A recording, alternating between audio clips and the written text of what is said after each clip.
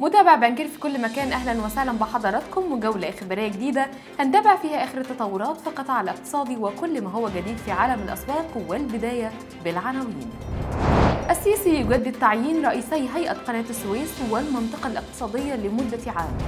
السماح للحاصلين على أوامر دفع بمبادرة سيارات المصريين بالخارج بإنهاء التحويل البنكي خلال شهر.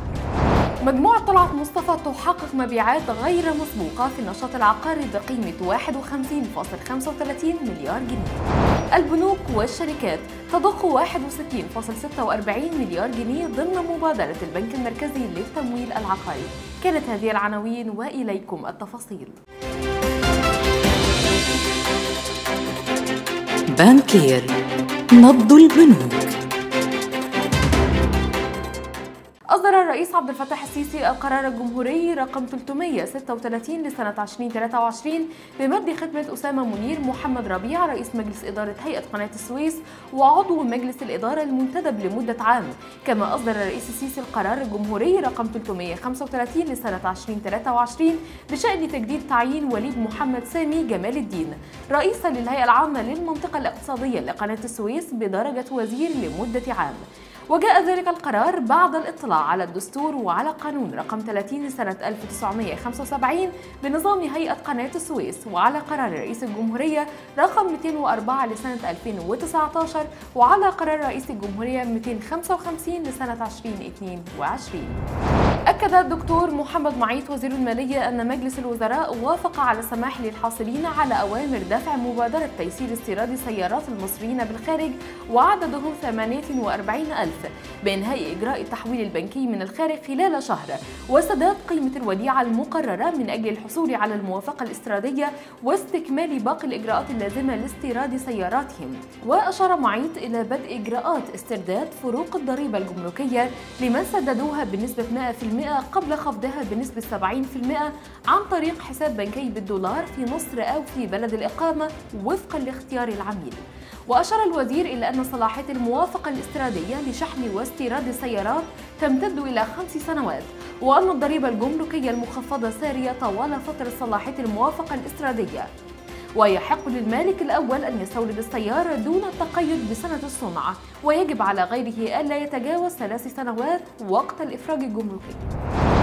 أعلنت مجموعة طلعت مصطفى القابضة اعتماد مجلس الإدارة في اجتماعه يوم الخميس الماضي برئاسة هشام طلعت مصطفى.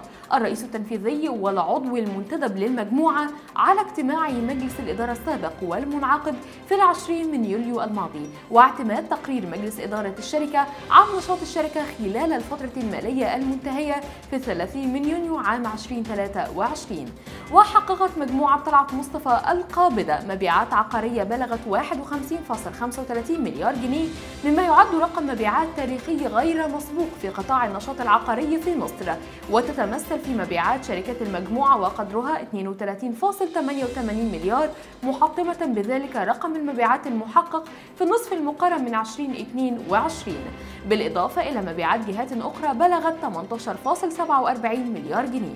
وبلغ رصيد المبيعات الفعلية وغير المسلمة 102 مليار جنيه في 30 يونيو 2023 مقابل 67 مليار جنيه خلال نفس الفترة من العام الماضي بنسبة نمو 52% مما يوفر نظرة واضحة حول التدفقات النقدية والأرباح المستقبلية.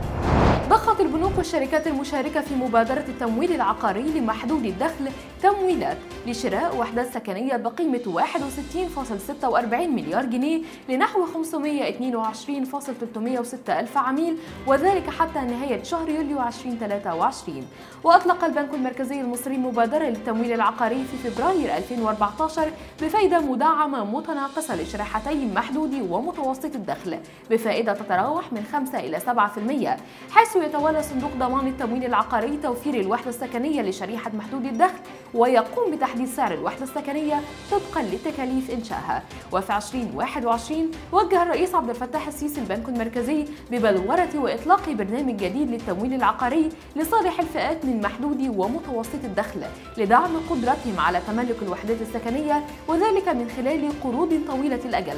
تصل إلى 30 سنة وبفائدة منخفضة ومبسطة لا تتعدى 3% وتتضمن المبادرة عدة شروط أبرزها توفير التمويل العقاري اللازم للعملاء الذين تنطبق عليهم شروط المبادرة من خلال البنوك أو شركات التمويل العقاري بسعر عائد 3% يحسب على أساس متناقص لمدة حدها الأقصى 30 سنة. وبكده تكون خلصت نشرتنا. كانت معاكم هبة محمد. بانكير. نبض البنوك.